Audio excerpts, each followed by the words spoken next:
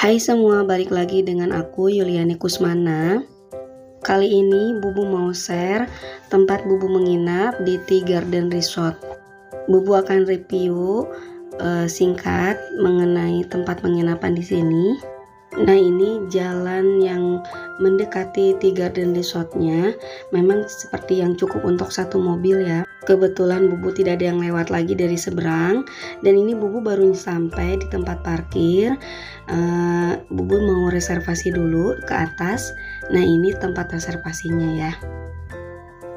Jadi kebetulan Bubu itu uh, pesan melalui aplikasi dapat diskon 50%. Nah, ini eh, tempat parkir tadi Bubu simpan mobilnya di sana dan kita langsung ke tempat resortnya itu jalan kaki tapi memang nanti diarahkan dan diantar jadi tidak terlalu jauh banget ya untuk pengambilan barang pun begitu sampai juga nanti dibantu dengan petugas dari pila tersebut nah ini eh, jalannya menuju pila bubu di tipe Japati Nah, uh, ini mendekati ya. Jadi begitu masuk, kita akan diarahkan menuju pintu belakang. Jadi uh, kuncinya itu lewat belakang ya.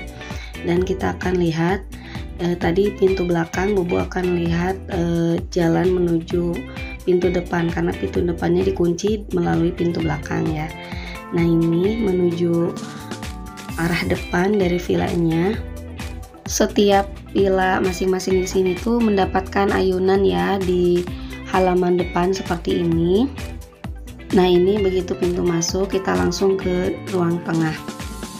Nah, ini di ruangan tengah itu ada tempat makan mirip uh, ala-ala Jepang seperti ini ya. Jadi uh, kita bisa duduk di sini makan bersama.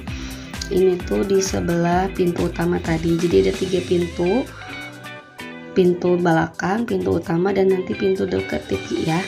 Nah, di sebelahnya itu ada tempat tidur kamar tidur utama. Kamar tidur utamanya itu uh, dengan tipe tipe king bed seperti ini ya.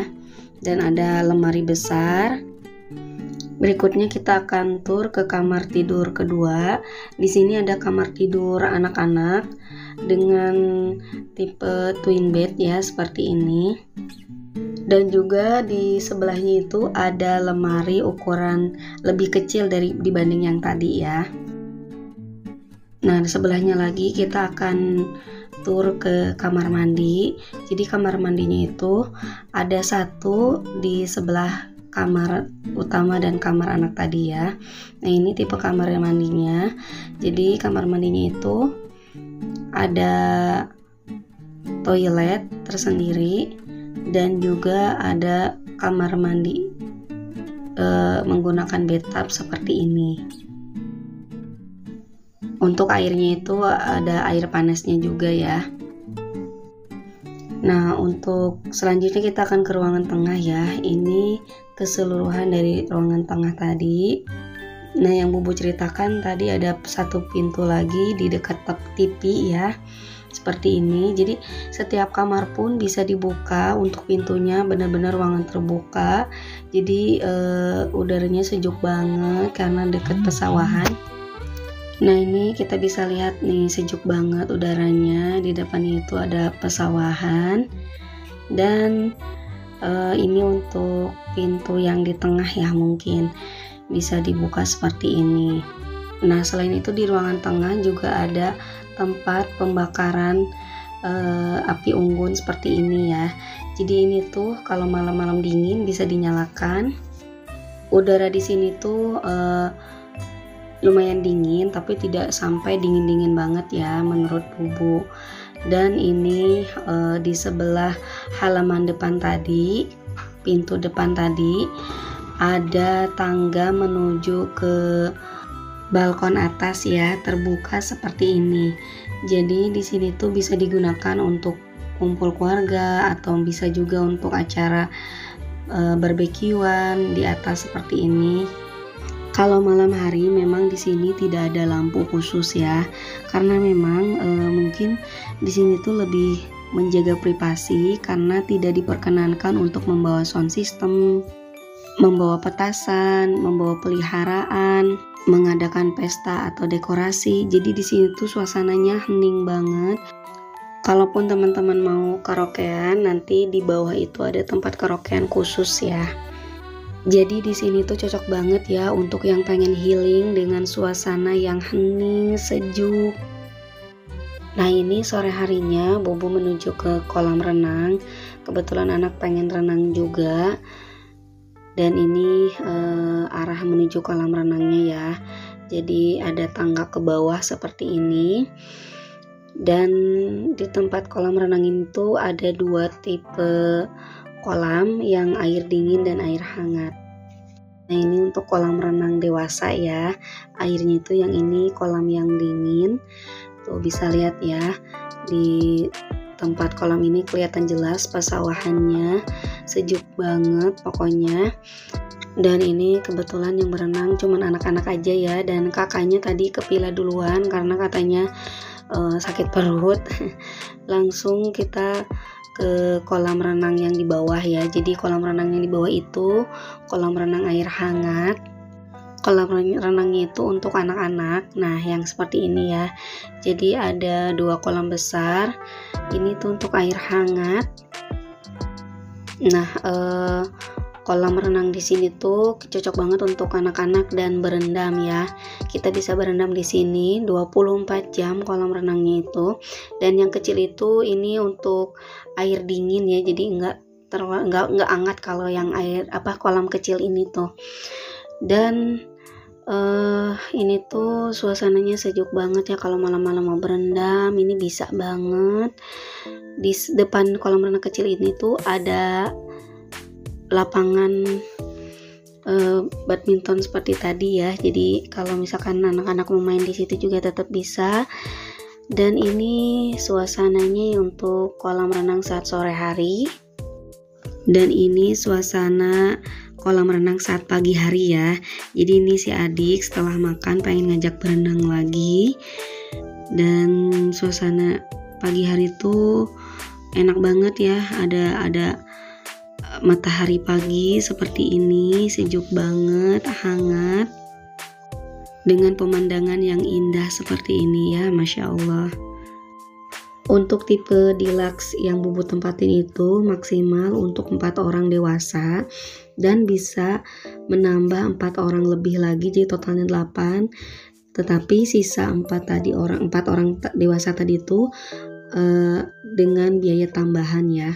Uh, bubu juga ini di sini ada empat orang dewasa dan anak-anak. Karena anak bubu yang besar sudah lewat dari 8 tahun jadi sudah dikenakan biaya tambahan. Biaya tambahannya banyak pilihan, bisa tambah extra bed dan juga untuk sarapan. Nah ini suasana malam hari di balkon. Kebetulan kita pengen bikin sate. Dan ini suasananya masih di idul adha ya. Jadi eh, kita pengen bikin sate. Dan ini sudah satenya sudah di potong-potong tadi dipila sudah dibumbuin ditutup menggunakan daun pepaya biar lebih empuk ya dan ini untuk nanti olesan bumbu sebelum dibakar. Suasana di sini tuh sebetulnya malam-malam tuh gelap ya tapi kebetulan kita bawa lampu senter jadi bisa kebantu sama lampu tersebut. Dan ini bubu akan uh, bakar dulu satenya. Jadi sebelum apa namanya sebelum dipanggang dioles kecap sama daun jeruk limau dulu nah uh, sebetulnya pemanggangannya pun bubuk juga bakal sendiri ya. Karena di sini memang tidak disediakan untuk pemanggangan. Untuk alat masak di sini pun yang sederhana ya. Cuman ada wajan kecil panci kecil dan piring serta sendok. Dan tidak ada magicom jadi kalau teman-teman mau bikin nasi pakai magicom tinggal bekal aja yang kecil dari rumah. Nah bisa lihat ya ini suasana malam harinya memang hening uh, dan gelap tidak terlalu banyak lampu-lampu. Dan suasana di malam hari itu lumayan dingin ya. Setelah selesai makan malam, di sini Bubu uh, akan menyalakan api unggun di dalam. Oleh pihak villa sudah disediakan kayu satu ikat seperti ini ya. Jadi malam hari suasana yang suasana yang lumayan dingin, kita bisa menyalakan api unggun di dalam tanpa harus e, bingung sama asapnya ya karena asapnya itu langsung ke atas. Nah, malam harinya Bubu tetap lapar ya, jadi pengen makan lagi. Jadi Bubu bikin mie dan lupa bawa telur, jadi cuma pakai cengek sama jeruk limau aja. Dan Bubu juga panggang e, gyoza atau mirip kayak dimsum ya, dipanggang seperti ini. Duh enak banget ya, suasananya dingin-dingin, hangat ada api unggun dan sambil ngemil makan yang berkuah juga dimsum ditemani api unggun sambil nonton TV pokoknya suasananya enak banget. Suasana malam hari dengan api unggun sambil nonton TV untuk TV-nya ini bukan tipe yang smart TV tapi juga ada beberapa uh, channel ya yang sudah disediakan dari pihak pilanya. Dan suasana malam seperti ini pagi harinya nah ini anak-anak sudah pengen main ayunan. Dan juga suasananya seperti ini ya sejuk banget. Gak terlalu dingin banget tapi enak suasananya. Lebih tepatnya sejuk ya. Dan bisa lihat ya di depan mata tuh langsung ke pesawahan pagi-pagi lihat yang ijo-ijo yang seger-seger dan suasananya indah banget seperti ini. Nah ini sekitar jam setengah tujuhan ya jam 6 lebih suasananya. Dan untuk sarapan dibagi ke tiga tahap ya. Jadi yang pertama jam 7 sampai jam 8 jam 8 sampai jam 9 jam 9 sampai jam 10 bubu ambil yang di jam 8 sampai jam 9 ya dan ini setelah kita mandi pagi harinya sekitar jam 8an kita langsung ke tempat eh, pendopo ke pendopo untuk untuk sarapan ya sarapan. Dan di sini suasana pagi harinya menuju ke tempat sarapan. Dan tempat sarapannya itu tidak terlalu jauh sebetulnya ya tinggal lurus aja naik sedikit lurus untuk sarapan di sini dimulai dari jam 7 sampai jam 10 ya seperti pada umumnya. Nah, tadi reservasi dulu. Lalu selanjutnya kita tinggal pilih aja. Di sini banyak pilihan ya, ada roti, ada juga untuk minumannya. Jus kebetulan kemarin itu ada jus nanas ada infused water dan teh kopi seperti biasa ya. Di sini ada buah-buahan ada salad sayur juga. Di sini ada sereal juga dan ada puding. Selanjutnya juga ada omelet dan juga uh, ada yang unik tuh cireng ya. Di sini ada cireng yang dibanjur dengan uh, kuah cuko kayak gitu ya. Ada juga bihun kuah. Dan di sini untuk yang manisnya juga ada bubur kacang hijau, bubur ketan hitam dan juga di, di uh, adakan untuk prasmanan makan. Nasi putih, nasi goreng, ada ayam, ayam goreng dan capcay, perkedel tahu dan macam-macam ya pokoknya. Lumayan komplit. Uh, ini untuk isiannya dan juga ada sosis, ada persambelan. Nah, sebetulnya di sini tuh ada tempat penangkaran rusa, bisa kalian kunjungi tapi kebetulan bubunya e, buru-buru mau pulang jadi tidak sempat ke sana ya. Itu dia tadi perjalanan bubu di e, Tea Garden Resort. Terima kasih yang sudah menonton dari awal sampai akhir. Jangan lupa bantu subscribe ya dan juga like, comment, and share jika video ini bermanfaat.